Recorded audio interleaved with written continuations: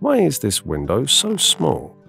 Have you ever booked a cruise and noticed how cabin prices fluctuate based on where they're nestled on the ship? It's no mystery. Interior rooms without windows are the most budget friendly option. Step up a level and you find ocean view rooms that offer picturesque window views priced a bit higher. For those craving the ultimate experience, balcony rooms boast full floor to ceiling glass walls, commanding the highest prices. But it's not just about the room type, the deck you choose plays a big role too. Higher decks come with a premium, offering expansive views and a touch of exclusivity, while lower decks are easier on the wallet. On these lower levels, cabins typically feature small circular portholes that provide just a glimpse of the sea, rather than a sweeping panorama. So what's the deal with window sizes being the main factor in cabin pricing? Why not just enlarge those lower cabin windows and let passengers pay a bit more for a better view? After all, when it comes to cruise ship cabins, travellers are often willing to spend a bit more for that perfect ocean vista. To truly grasp why ship windows are designed the way they are, let's explore their primary functions. Some windows are fixed, allowing you to gaze out at endless ocean, while others are hinged, letting in a refreshing breeze when you crave some fresh air. In essence, they resemble regular windows, but their design is tailored to the unique challenges of life at sea. Now let's take a closer look at the ship's superstructure, the part of the ship above the main deck. Even though these structures rise above the waterline, they must remain weather tight to brave fierce winds and towering waves during stormy weather. To achieve this, the walls of the superstructure are designed to withstand immense pressure, Introducing glass windows means cutting into these robust metallic walls, which can create weak points and compromise the ship's structural integrity. Moreover, glass poses its own set of challenges. Unlike metal, which is ductile and can bend without breaking, glass is brittle and lacks this flexibility. This means that glass can fail suddenly and catastrophically without any significant deformation, making it a risky material in the harsh marine environment.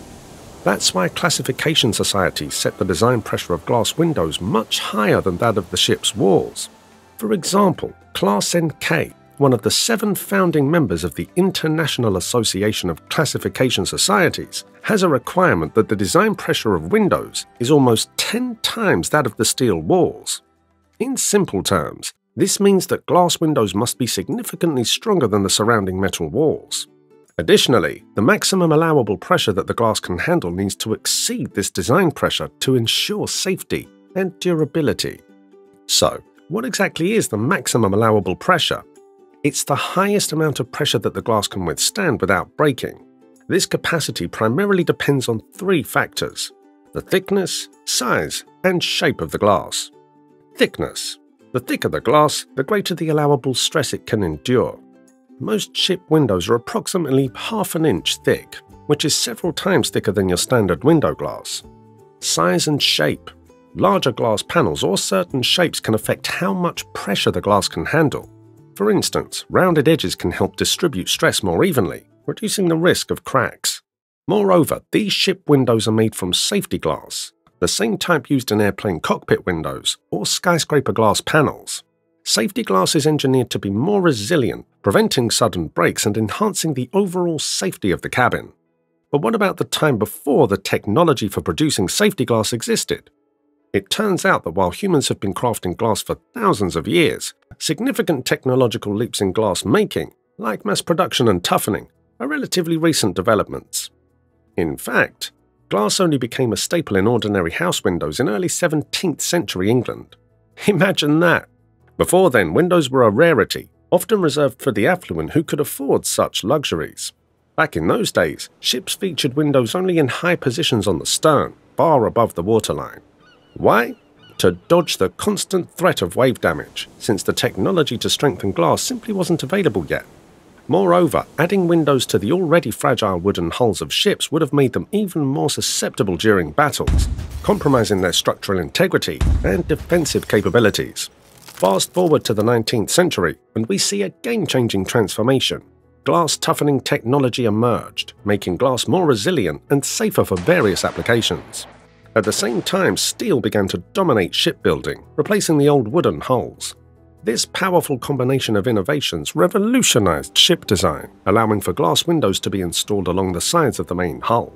These windows could now withstand the occasional impact of waves, offering passengers better views without sacrificing the ship's strength and durability.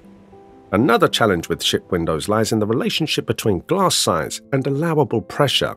Simply put, as the size of a glass panel increases, its ability to withstand pressure decreases significantly. This means that larger glass panels are more prone to breaking because they're only supported at the edges, leaving a greater unsupported area that makes them more vulnerable to the forces of the sea. To tackle this issue, some ships incorporate an extra support strip right down the middle of the glass. While this reinforces the window and helps it endure higher pressures, it comes at a cost, obstructing the view. So if you're booking a cruise and opt for one of these cabins, you'll likely encounter the label Obstructed Ocean View a subtle reminder that a sturdier window means a slightly compromised panorama. But why are the windows on the lower tiers of the superstructure built to be so robust? It all comes down to design pressure requirements.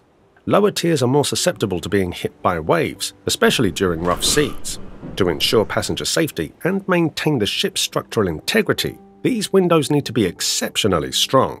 The solution? Smaller windows are installed on these lower decks. Their compact size allows them to withstand higher pressure, reducing the risk of breakage and ensuring that even in the face of powerful waves, the ship remains secure and the passengers stay safe. Additionally, ships are equipped with permanently attached covers known as deadlights or storm covers.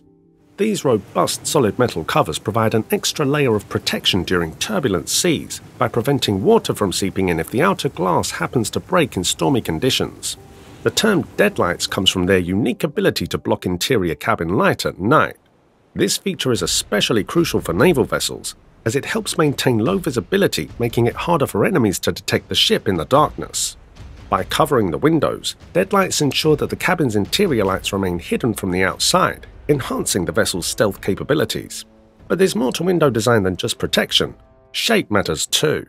Circular windows are inherently stronger than their rectangular counterparts. Why? In a rectangular shape, the corners become weak points due to stress concentrations, making them more prone to cracking or failing under pressure. This vulnerability extends to the shape of the window openings in the ship's hull. Sharp corners around a rectangular hole can increase the likelihood of tearing, compromising the ship's structural integrity. To mitigate this, engineers often round the corners of rectangular glass panels. By eliminating sharp edges, they distribute stress more evenly, significantly reducing the risk of cracks and failures. This thoughtful design adjustment ensures that even rectangular windows can maintain their strength and durability, blending both aesthetic appeal and practical resilience. Nonetheless, classification rules strictly prohibit the use of rectangular windows in areas near the freeboard deck. This regulation is the reason why the lower tiers of ships are adorned exclusively with circular portholes, a design choice that not only enhances structural integrity, but also withstands the relentless forces of the sea. In stark contrast, the highest decks, such as the navigation bridge and balcony rooms, boast large glass panels that offer panoramic views and a sense of grandeur. However, many cabins find themselves in a middle ground. They're limited to rectangular windows with rounded corners to mitigate stress concentrations, or even more restrictively, for those nestled near the lowest decks, passengers are offered only small circular portholes. These compact windows ensure safety and durability, providing just enough light and a glimpse of the ocean without compromising the ship's structural integrity. Now, have you ever wondered why, like windows, cruise ship pools are small too?